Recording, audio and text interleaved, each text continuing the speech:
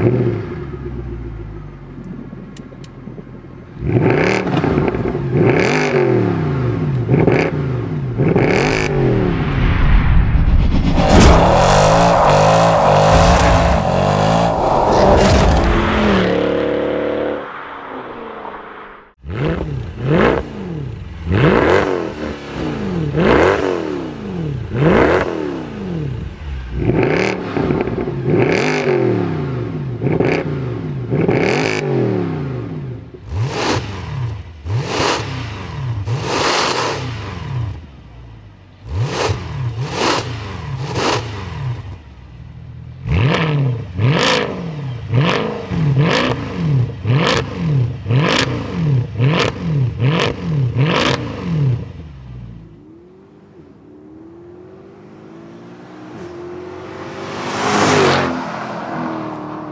it's Nyla. I'm here with Function Factory Performance to give you an update on my C63 I got about a month ago.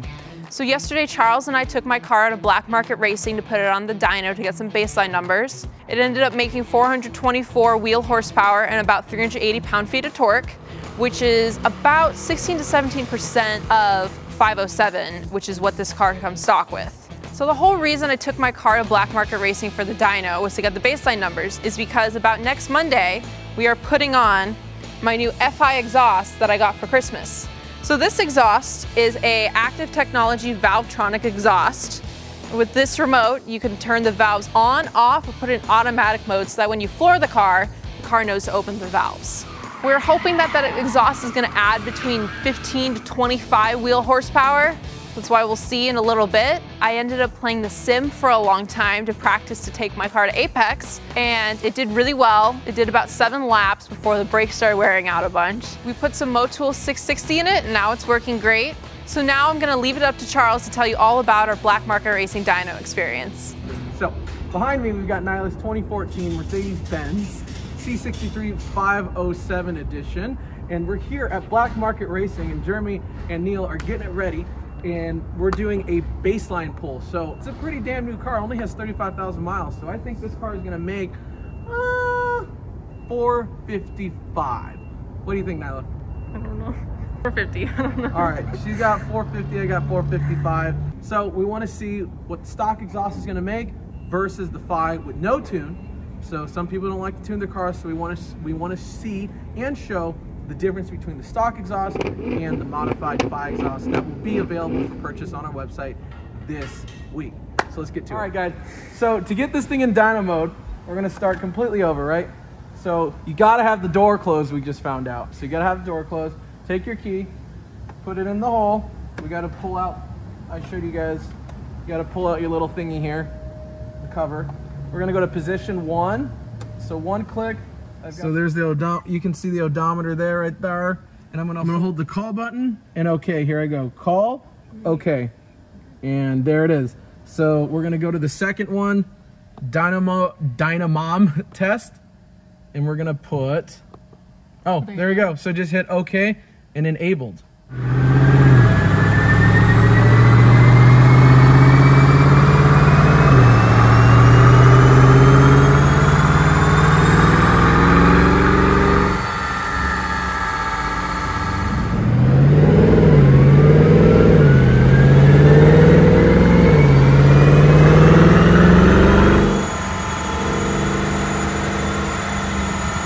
So yeah, the car's just making power, power, power, power, power.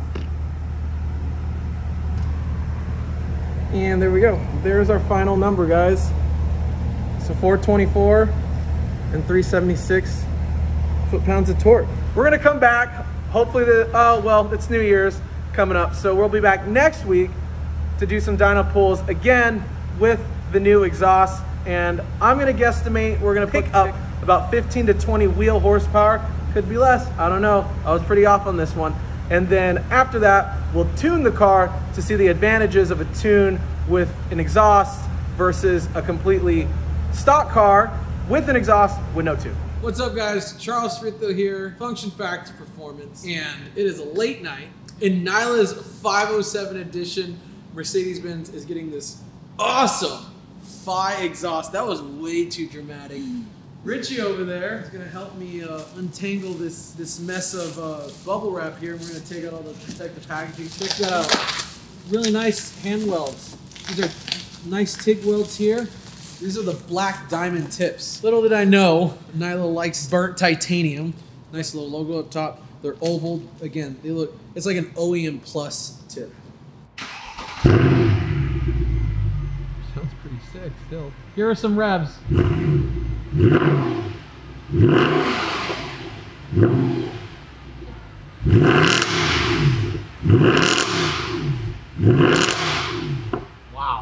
That is the stock exhaust, guy. That thing's pretty loud pretty, for being stock.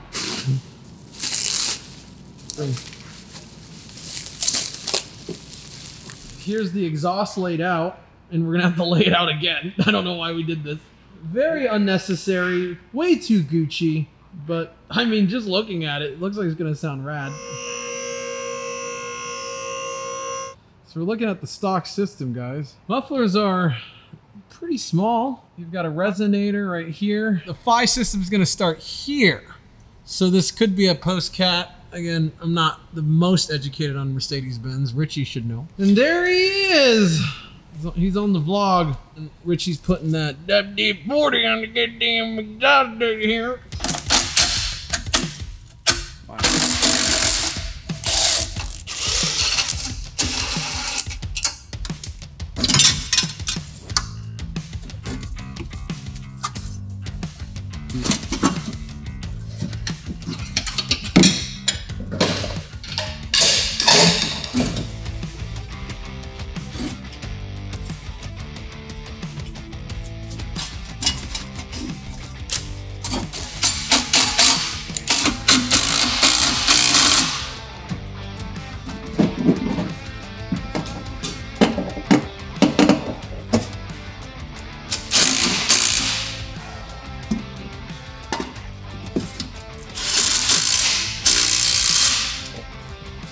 This one was actually easy.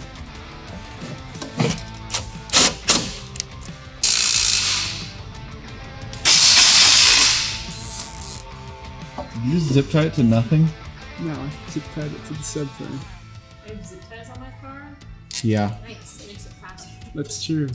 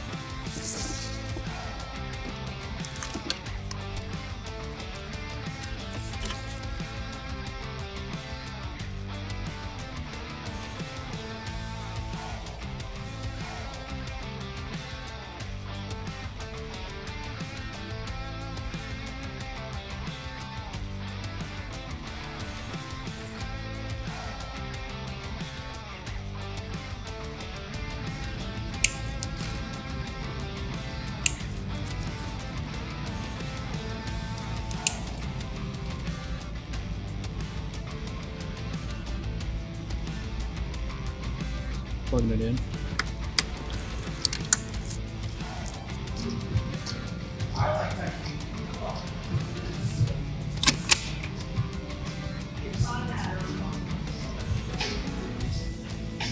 So, after a short, it seems like uh, the exhaust went in, in in an hour, I believe. Richie, what do you think about the fitment?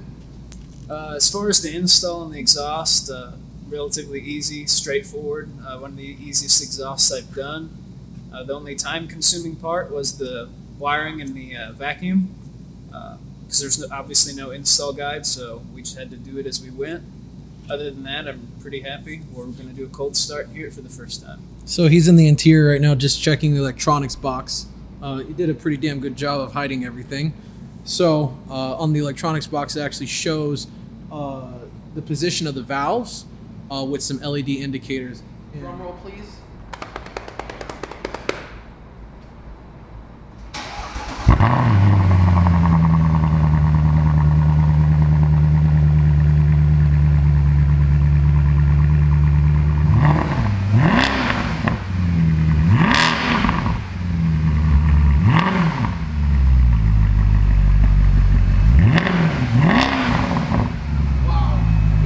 Okay, so the first thing I noticed about it, it's about 20% louder than stock, but the tone of the exhaust is 100% changed.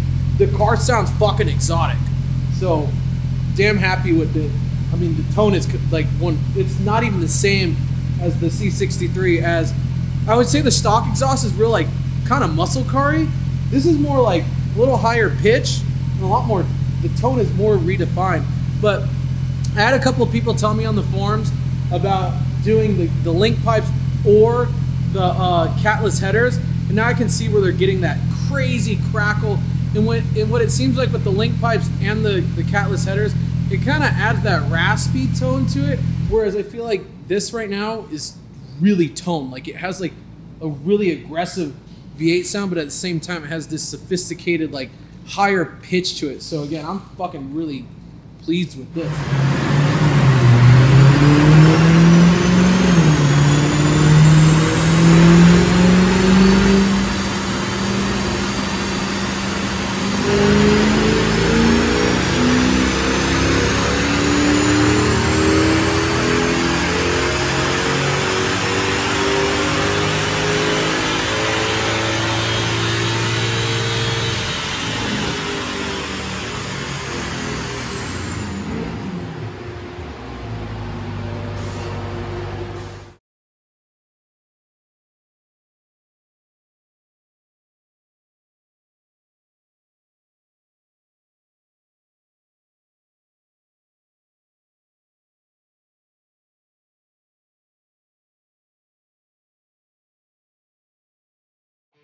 Hey guys, it's Nyla. We're here back at Westworld to give you an update on my C63 507 edition.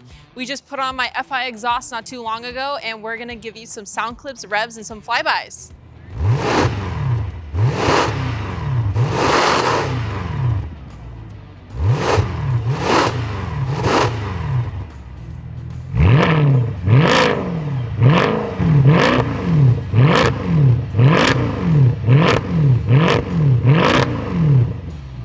So this is my Bluetooth FI controller, which controls the valve modes. So if you press this top button, puts it into race mode.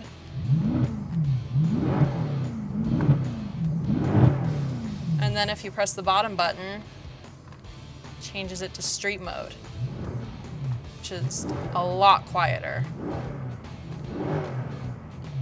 So then if you don't have your remote control with you, you also have a Bluetooth app that pairs with the exhaust where you can change the valve modes just by a press of a button. So right now we're in race mode. And then if you just press street mode and give it a second, it gets a lot quieter.